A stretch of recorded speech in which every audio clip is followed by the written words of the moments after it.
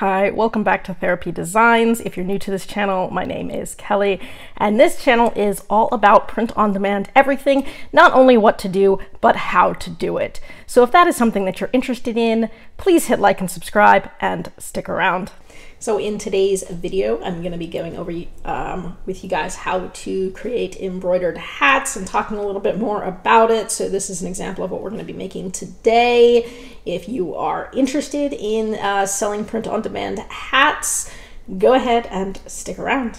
Okay, so here I am on Canva's home page, and today we are going to be uh, going over how to make a hat that I would um, make using Canva. I will then use Printful as my third party print company, and then I would typically sell the hat on platforms such as Etsy or through Amazon via Seller Central. I do sell a lot more hats on Seller Central probably than t shirts because on Seller Central you are competing against Amazon merch on demand.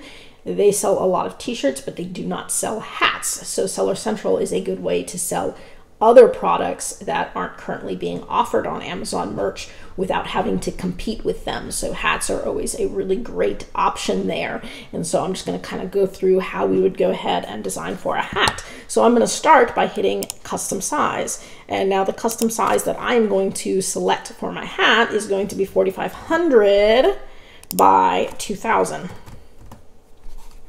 and we'll create a new design here. And so this is pretty much the uh, the area that you have to work with in terms of embroidering on a hat, right?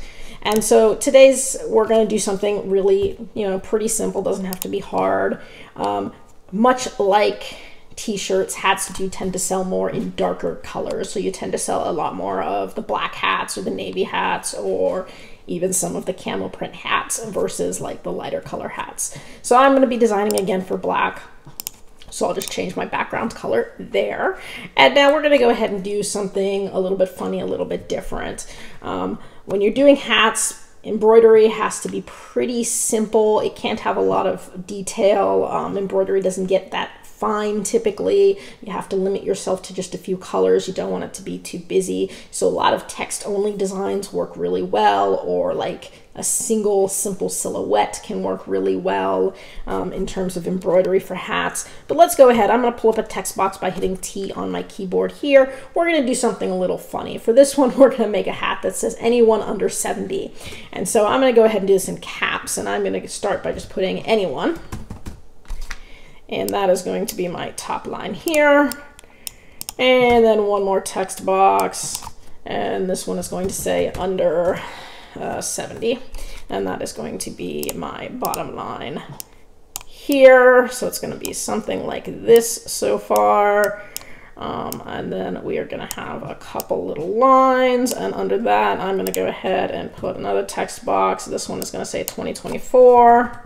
This is, of course, referring to, you know, the 2024 presidential election. And so just a nice funny hats. This will start to become more popular next year, so it's always good to get stuff up ahead of time.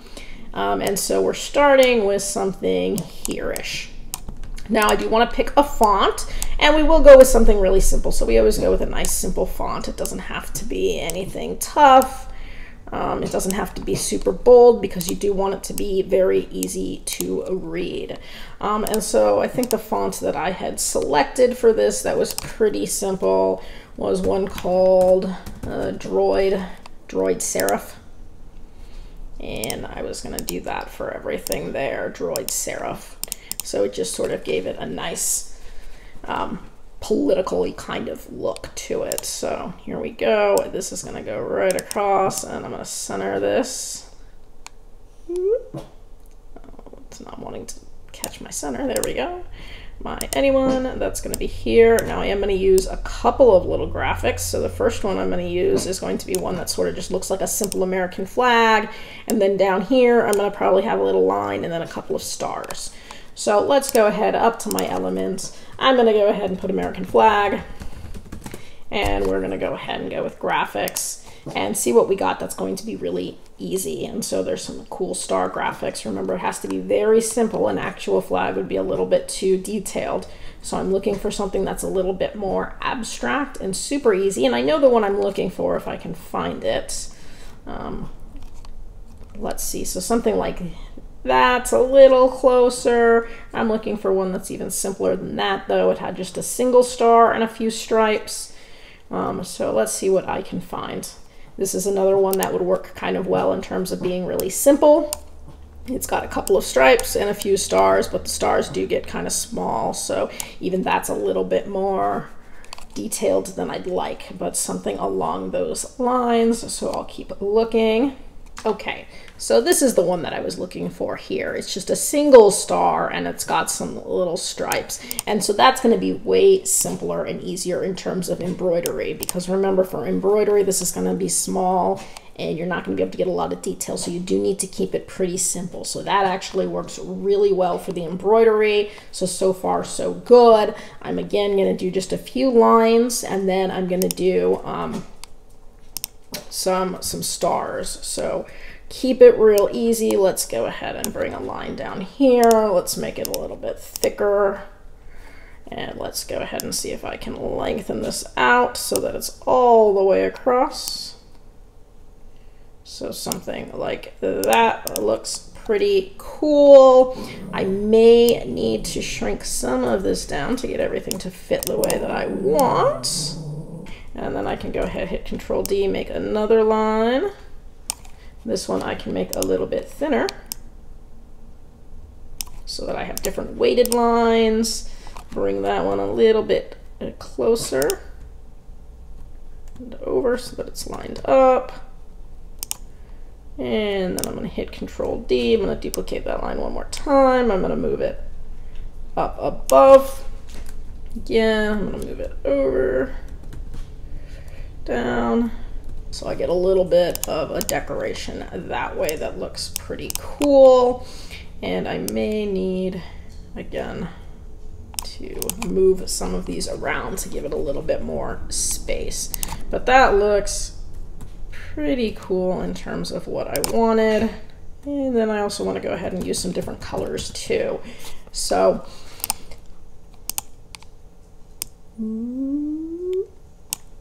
Everything here is just going to be red, white, and blue on a dark background, so it'll look good on a black hat or on a camo hat or on a navy blue hat, and so it's going to be pretty simple. Anyone, I'm going to go ahead and make a nice blue color. It doesn't matter the shade of blue because you're not picking the shade. You're going to end up with the shade of blue that they have for the embroidery, so whatever thread color they have that's blue.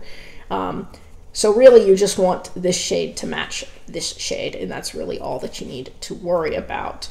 Um, actually, I think I was going to make this one white and the other one blue. So let's make anyone white, under 70 blue.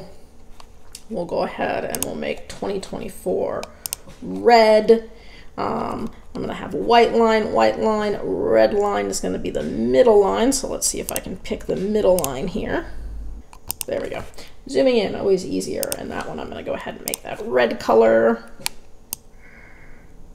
So here we go. So far, so good. Anyone under 70, really simple. Let's go ahead and add just a little bit of a star for each side. Oops, star.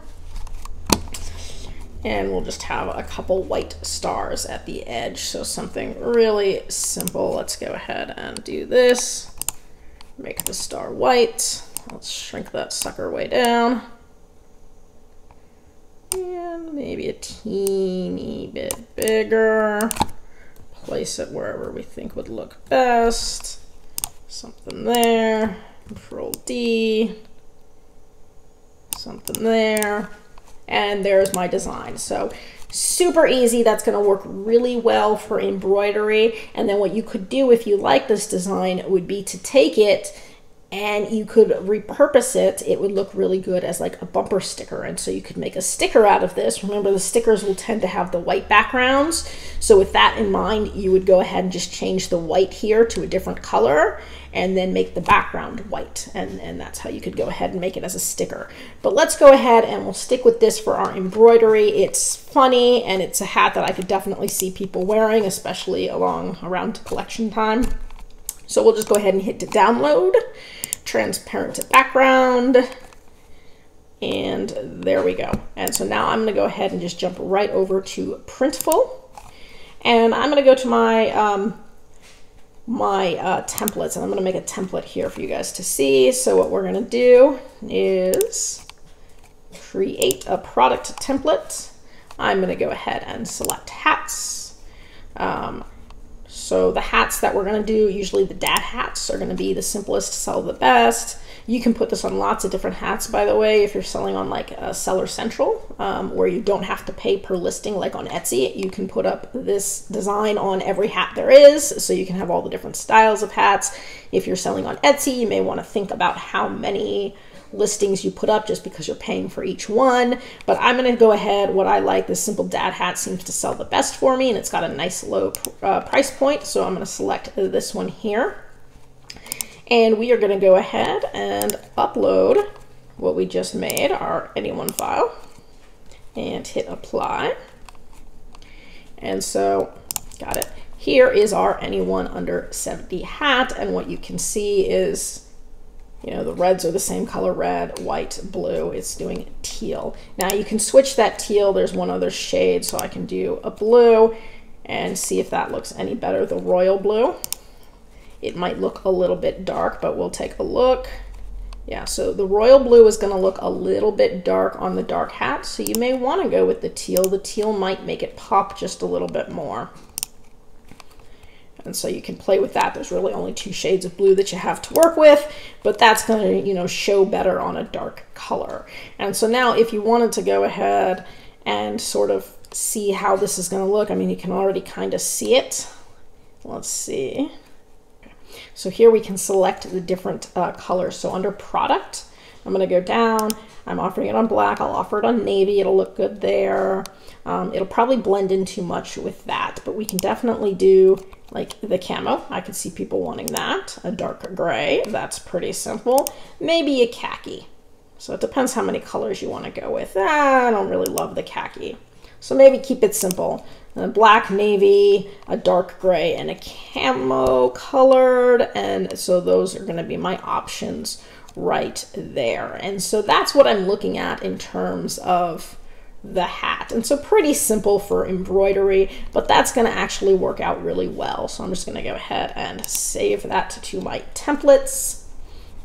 If you have any questions about how to do this, drop it in the comments section below. But this is really a pretty simple, easy design. And then you've got, you know, hats that again, you could sell on any platform that you want and lots of different ways to go about it. If you have any requests for videos, go ahead and drop that in the comment section below. I do try to get back to those and add you to the list as quickly as I can. I know I got a lot of stuff that I still want to cover. Um, next week, we will be talking about um, the quarter one niches, so stick around for that, as I know quarter one is fast approaching and you do want to be ahead of the game in terms of your designing. You want to always be thinking ahead a month or two. Um, other than that, I hope your quarter four is going well. I hope you guys are making lots of sales. I hope you already have all of your Christmas stuff up, or at least the vast majority of your Christmas stuff already up. Um, and I hope you guys are just doing well.